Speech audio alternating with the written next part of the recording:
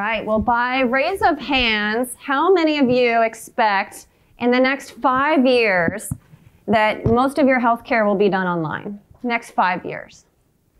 What about 10 or 20? All right.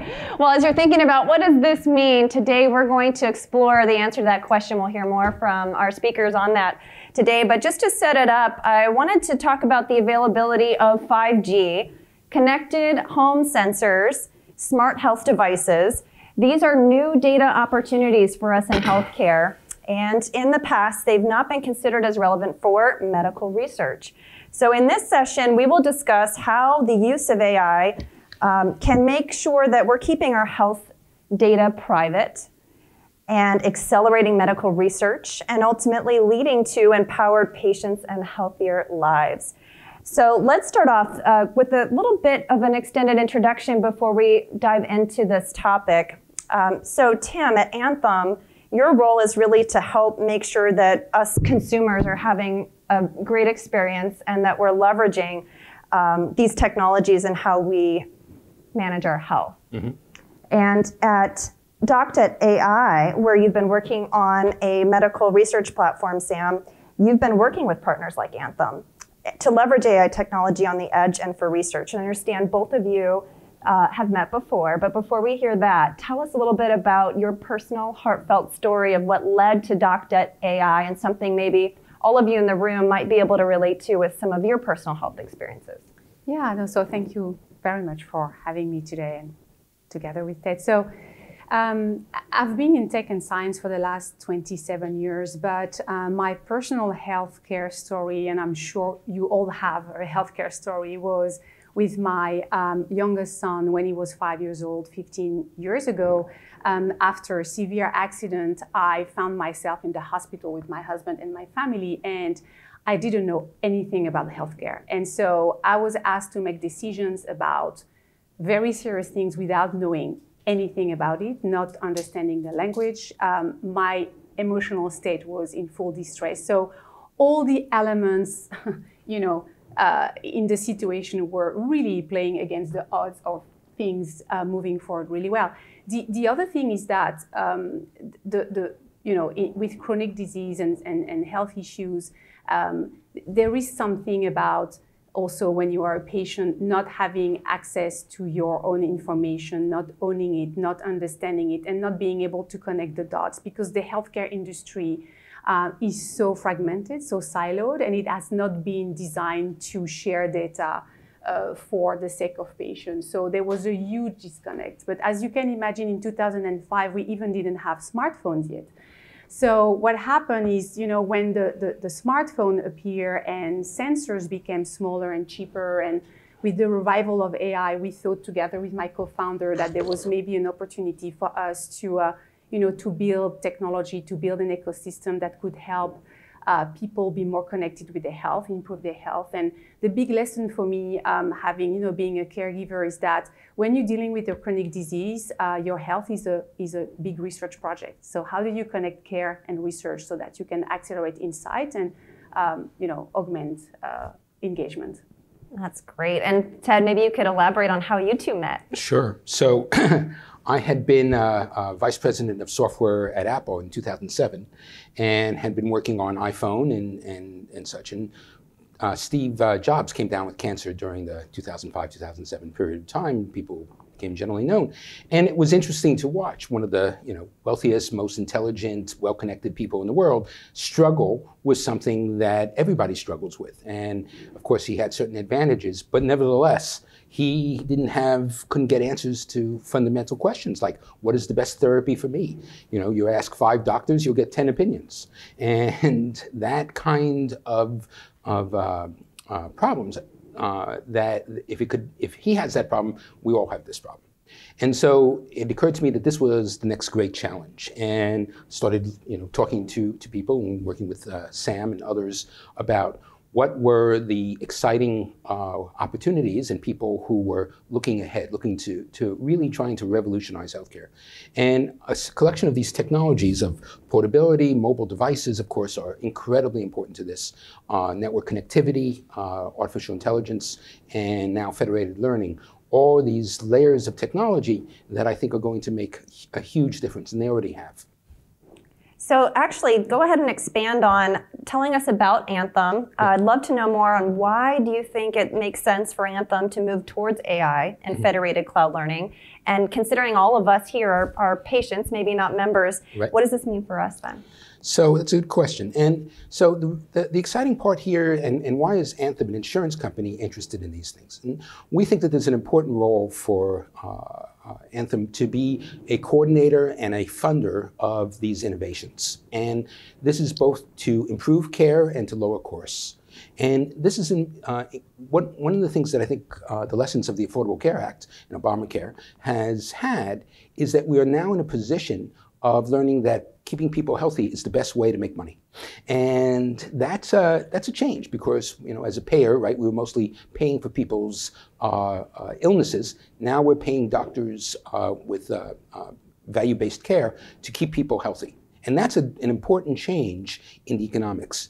And so, like anything else, right, how do we transition this from a uh, automated, automated processes to you know, um, from the current manual processes. So anything today that requires a lot of human intervention, if it can be automated, we think that that's a, a good thing. And then how do we move it from expensive bricks and, and mortar to uh, bits and and uh, and algorithms? And that's I think is is the key. And so these are the technologies that are going to make that happen. And if I remember right, would you consider Anthem to be an is it an AI first? Uh, what's the motto there? Tell yeah. us about that. Well, the, the, there's a movement now at Anthem to be digital first. Digital first. That's right. right. How, do, how do we become uh, so that the, and, and people do this anyway, right?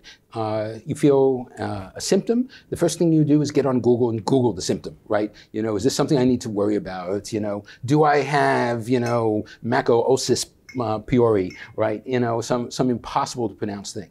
And, and people need answers, right? And oftentimes the, the problem with these digital interfaces is they give you, they raise more questions than they answer, right? And so how can we put these things in context using a little bit of expertise to say, no, what you have today is just ordinary indigestion. Or you have something which, you know, if it persists and the pain gets really bad, time to go to the emergency room. And so one of the things that we find is we're in a position now where the digital environment can tell people, don't go to the ER, go to urgent care. Don't spend $2,000, spend $100 on an urgent care visit. And that, you know, that's savings both to uh, uh, the, the member, to the, to the business, and to the employer who typically is paying the bills. Absolutely. So we'd love to hear from you, Sam, on what the partnership with Anthem's about. Uh, maybe you could talk with us a little bit about the goals and the approach of yeah. this. and, and, specifically a data trial. By the way, has anyone ever been a part of a, a, data trial? Do you know what that is? A data trial. There we go. I'd like to hear about what is a data trial in the case of this partnership. Yeah, so um, I, I, would like to, to start with the fact that something um, extremely important is happening right now, and it's um, in physics, it's called a momentum, and physics doesn't lie, right? So the amount of data that we are generating is just incredibly huge. So we've been generating, you know, uh, 30 million, you know, uh, uh tablets of data in 2018. We're moving to five times that amount for 2025. This is pretty huge. Uh, health data is doubling every 76 days as we speak. So uh, the amount of data, big data, is, is a real phenomenon in, uh, in, um, in healthcare, but uh, fast data with the arrival of, of 5G is also, and so that's in physics, it's mass and, and velocity, that's the momentum. So that's why everybody, that's where growth is. So the opportunities are huge together with mobile and AI. So for us, what we've been working on for the last three years, very concretely, so we've been building modules, AI modules that enable anyone to collect to recollect and re-own all our health data and real world data. I'm talking about your medical record, genetic tests, lab tests, pharmacy, environment, and so on and so on. So what are we, how are we doing this on your mobile phone and in a very safe way? Because we're putting the AI on the edge. And putting the AI on the edge means that today we are able to have the AI being computed and trained on your device, which is extremely secure, safe, and extremely efficient in terms of latency. You don't need Wi-Fi anymore, which is really, really great. So uh, why are we doing this? We're doing this because we have not yet had the opportunity to collect all that real data in one place to try to understand how that connects with each other and what it means for your health. Like your phenotype, which is your physical characteristics, together with your genotype, which is what you, you know, are born with, together with your diet and your exercise. I mean, we are all very unique. So that concept of precision medicine that everybody is talking about is really the idea of being more precise in the delivery of healthcare because we understand each of us in a more precise way. So we've developed all these AI modules that enable to um, aggregate all that data coming from different sources on your phone.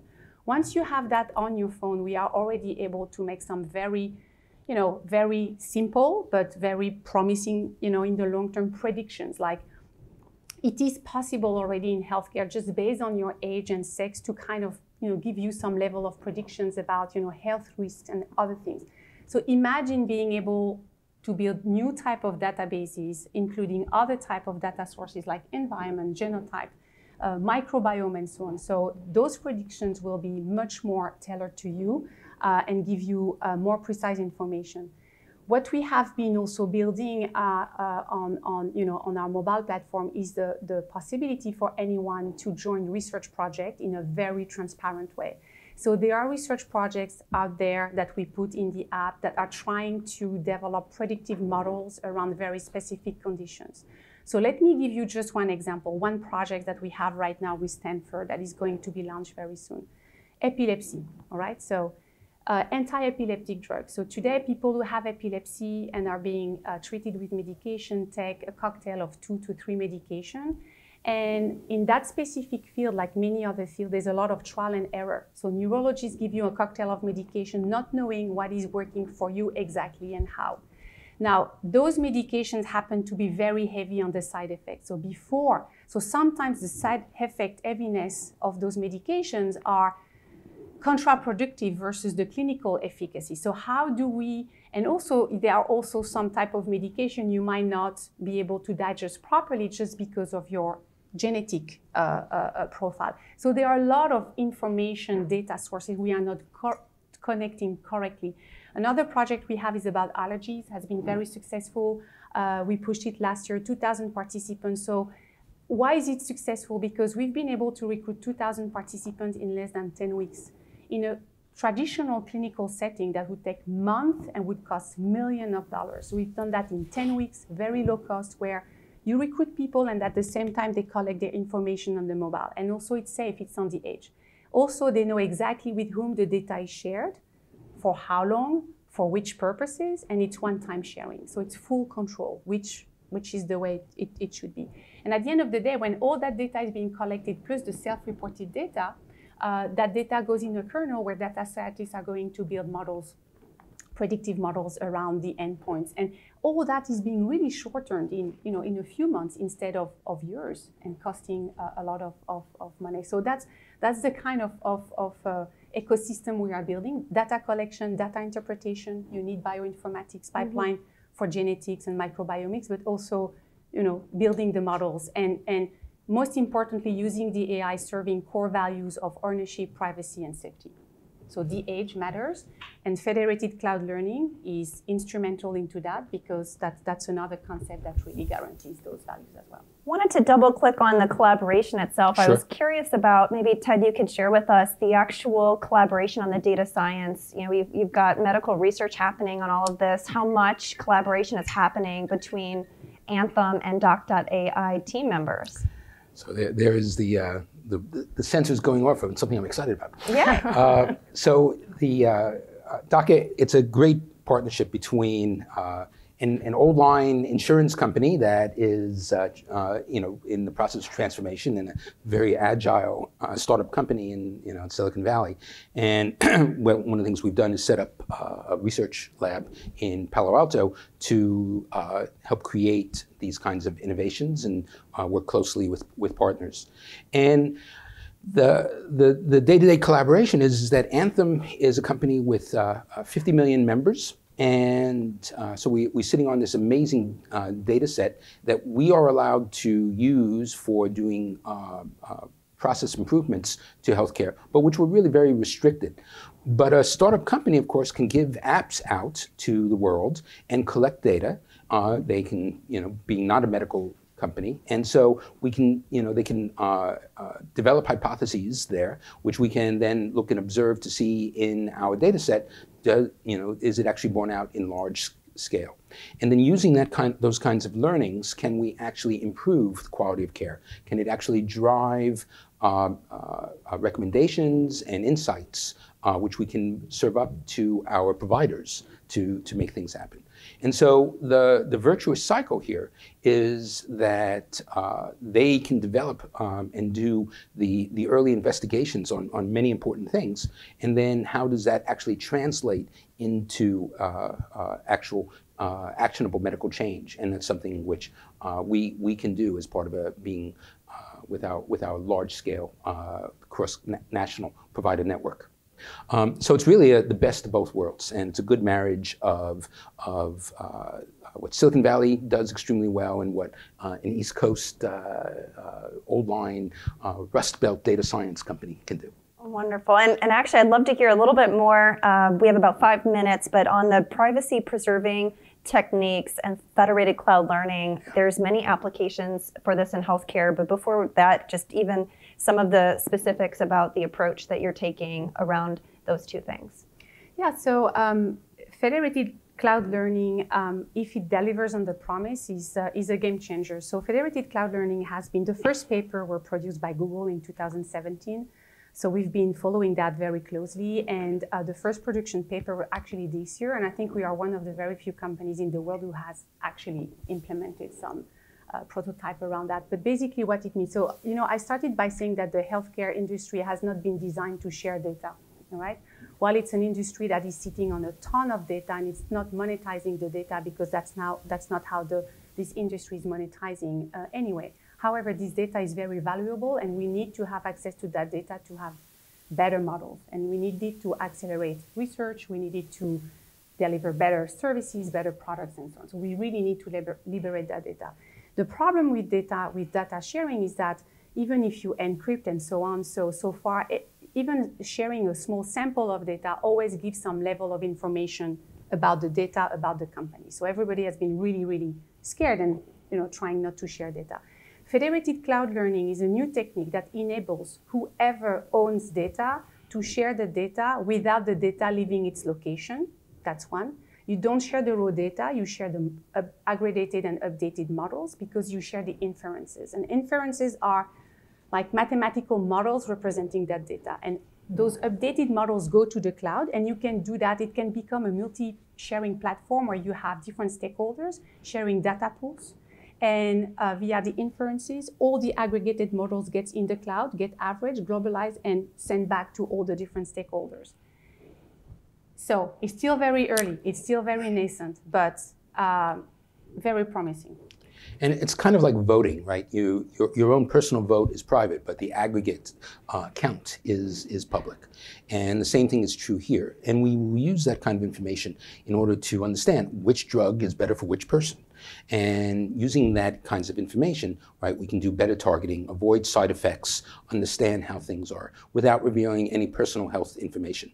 We, so we think of this technology as incredibly instrumental to uh, achieving the, the AI vision that we all share. Perfect. And that leads us to 2020, right around the corner. I was just reading some articles uh, predicting what 2020 would be like, and some of them are spot on, some we might be far from. But back to our question in the beginning how far away are we from doing a lot of our healthcare online? Maybe you could talk with us about 2020 healthcare, and we could wrap it up with some specifics you think uh, in this this particular project that we'll see? So, so today one can have a conversation with a physician over the phone, and so uh, rather than sitting in a waiting room chair when you're feeling miserable, you can actually have uh, wait wait in bed until the doctor can see you now. And what we hope to do is to turn this around right? Where uh, sort of like the, the book, The Patient Will See You Now. And the idea really is one where we can actually get some of the healthcare uh, prerequisites, you know, uh, what's your name, what's your age, of course, very trivial form filling kinds of things. How do we make that more streamlined? How do we make it so that it's, it, you know, you, you feel like you're not answering the same question over and over again? So that's the first little thing. But really, what's important, of course, is which of these pieces of information has changed, and how do we actually detect that? Mm-hmm. And to make that so that's a, a, a, streamlined part of the process. And so uh, the expectation is, is, that we will have these, these bots, these doc bots, that are our agents that represent. And so we will be launching uh, these kinds of technology in, in, in uh, shortly.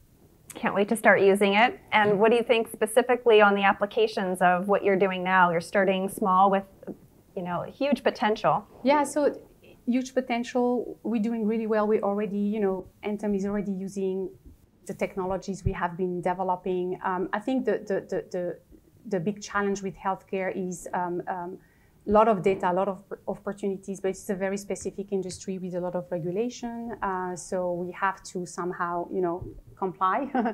um, however, what, what is changing, I think, is there is such an opportunity to, more than any other industry, to, to totally personalize the experience and to make the experience so efficient because the data is there via the claims, the medical record. I mean, it's, it's, it's, it's, it's just at the tip of our finger. We just have to unleash and, and be good at what we're doing and really create experiences that people, people want to use because that's the other challenge with health. How do you, how do you make the experience very exciting and you know, engaging? So we, we talked about two challenges just now. Maybe you could close us up before we take questions with another challenge or learning that might be helpful for everyone who's considering this for their organization. so, so one of the, the, the, biggest challenges we face, of course, is how do we make these kinds of standards spread across? So, um, one of the, the trends in, in, in healthcare world has been this massive centralization. You know, Sutter Health, for example, is uh, in, here in Northern California. Um, in every part of the country, there is one or two uh, companies that have aggregated at huge cost and expense. But now we're kind of reaching the limits of what's possible. So I think one of the big issues here is how will these different institutions interact? And once again, federated cloud learning. So how do we actually train a model, not, not just in the phones, but across the multiple institutions so that we can train a model that's useful here at Sutter Health and then pass it over to UCSF and pass it over to, um, uh, to Dana-Farber in, in, in, the Northeast and Moffitt in the South and Geisinger in Pennsylvania. How do these large institutions collaborate? They don't want to trust each other. They feel they have obligations to their members and to their shareholders and, and, and, and, other entities that they have to protect and not share their individual patient data. And federated learning, I think, is an answer to that, even at that macro scale. Amazing. Well, why don't we take some questions now? Someone will come around with a microphone.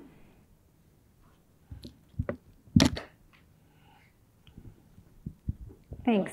I think we have one right here. Uh, okay, I have a short question uh, followed by a longer one. Uh, the short question is Are you folks contemplating uh, a question I've asked Ted in the past? Integrating, you think of all the genomic information, think of the biomic uh, omic information, and then go all the way to EMR uh, to ICU real time information. So, is that something that Doc.ai has a capability for, or is this something that together you're thinking about?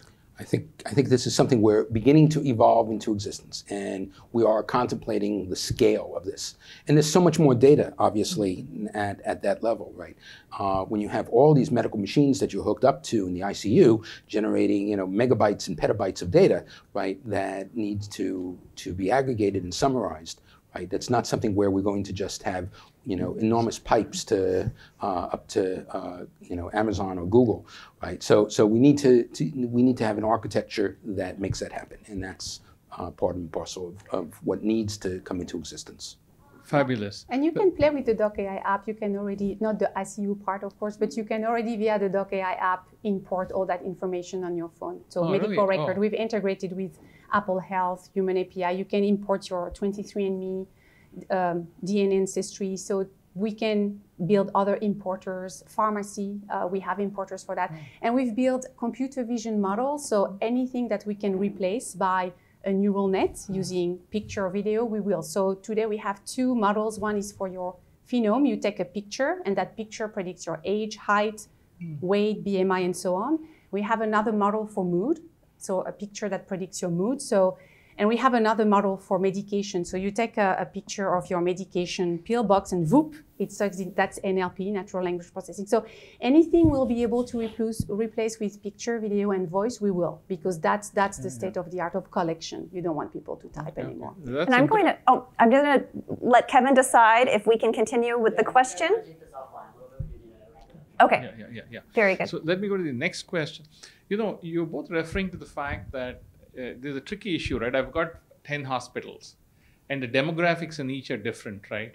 So if I'm going to uh, pass parameter, I'm going to do federation and do parameter sharing, then unless I know the context of the data that came in, and which is partly reflected in the parameters, it could really cause a lot of confusion if you want to share, right? Because think of a, like uh, any Bayesian hierarchical model where you're messing up the parameters, right? So I'm sort of curious about how this whole federation idea would work if you're doing parameter sharing. Uh, Well, there of course has to be standardization and scales and, and such, but part of it also is is learning about uh, and training. Having one of your priors be the error, the, the previous learnings and errors you've seen from similar systems. So just as you need to know what kind of machine you had that it's being come from in order to calibrate it, and so uh, that's that's an important piece of of how one can do mixed model representation. And I'd like to invite you to stay for a few minutes if you, Ted, and Sam don't mind taking a couple more questions at the end. I think we have to wrap up the session itself, but we can do that and continue. Well, thank you all for Thank you. being part of this you. discussion. Thank you.